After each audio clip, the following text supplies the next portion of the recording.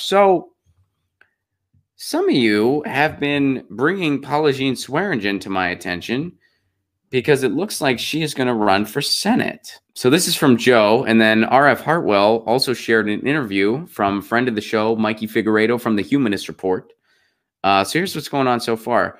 Democrat Swearengin announces renewed bid for U.S. Senate in 2020.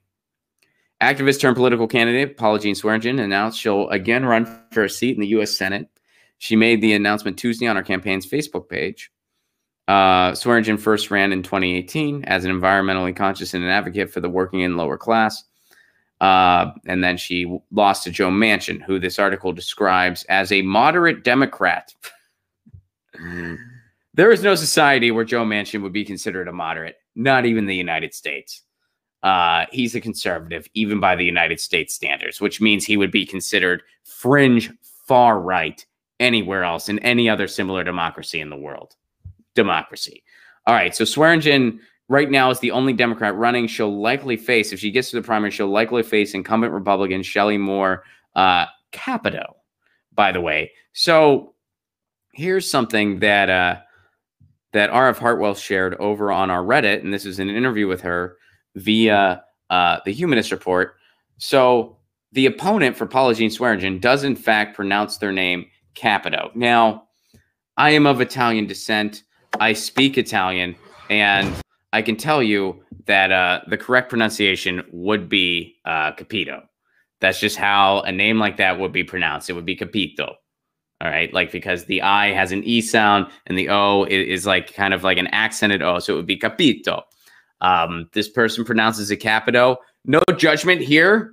Um, because, you know, if I really wanted to say my name, uh, the proper pronunciation, it would be Placone.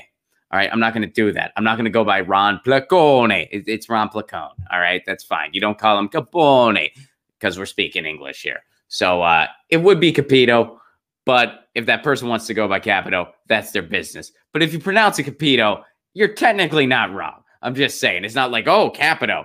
Like, all right, because that's actually in the interview, which let's uh let's get this interview uh queued up here because uh, this is from Mikey and the Humanist Report. Here we go. Announced, and this time, I mean, I had a good feeling about you last time, of course, mm-hmm. because you're so real, you're genuine. But this time, it feels really different. I believe you're the only Democrat running in the primary currently, right? So you're. So he's acknowledging she's the only Democrat running, um, and that she'll be going up against Capito or Capito they want to go by Capito. That's their business. No, uh, no judgment here. Kind so of far. the front runner. So, so mm-hmm. what's different this time now that you're not running against Manchin, you're running against Capito?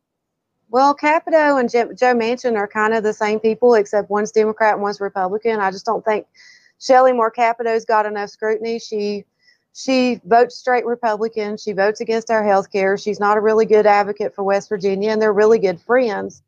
So unlike Joe Manchin, she actually has uh, Capito actually has the R next to her name. You know that that's the only thing. Joe Manchin, for an inexplicable reason, has a D next to his name. There's no reason for it. He is uh, a Dino, a Democrat in name only, uh, which again, Democrats overall a conservative party.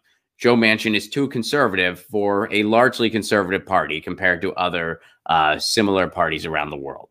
Anyway, but um, I really believe that if we're going to elect somebody like Bernie Sanders, we need support in the Senate. We have some good progressive candidates in the House. We uh, good incumbents in the House, and we have some candidate, you know, good progressive candidates for the House. But we definitely need more support in the Senate. So she's right. Paula Jean is thinking long term. She's thinking down the road, and she realized we need to beef up the Senate if we're going to have a President Bernie Sanders. Because here's what happens: if Bernie Sanders is our next president, um, what he's going to have to do is a Jean is right. We're going to have to beef up the Senate, get more progressives in the Senate. The other thing Bernie is going to need to do is he's going to need to get the movement behind him, similar to what FDR did, similar to the fireside chats. He's going to need to go to, hey, you the people, we the people. Here's what I want to get done. Here's what I, as the president you elected, want to get done. Here is who's holding it up in the House and the Senate. Here's who they are and then we the people got to go and pick those people off. We got to get them out of office. That's what's got to happen. We have to get them out of office. We have to vote them out. And it's got to be from the ground up. When we got a good guy in the White House, who's like, this is what I want to do. Here's who's holding it up in the House and Senate. Well, we got to change that House and Senate. So Paula Jean uh, has some foresight going for the Senate. Uh, smart move.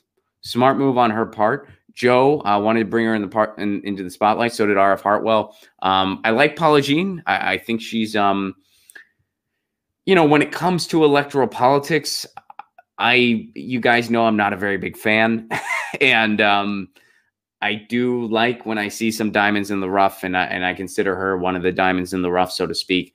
So uh, I like Paula Jean, and we'll try to have her on this show to talk more about her uh, her Senate campaign. And uh, good job there, Mike Figueredo. Shout out to Mike Figueredo. Even though apparently, apparently it's Capito. You know, he said Capito. She corrected him. This person goes by Capito. Maybe, uh, maybe an Italian last name is, is dangerous to West Virginia voters. Apparently, I don't know. Maybe West Virginia Republicans don't like Italian last names. I have no idea uh, if there's any truth in that, but uh, I don't know. Who knows? On with Rhonda. Don't you want to know what's going on? We're getting our news on today. Get your news on with Rhonda. Don't you want to know what's going on? We're getting our news on today. Yeah, yeah, yeah. You can tweet me an article at Ron Placone. We'll go through it together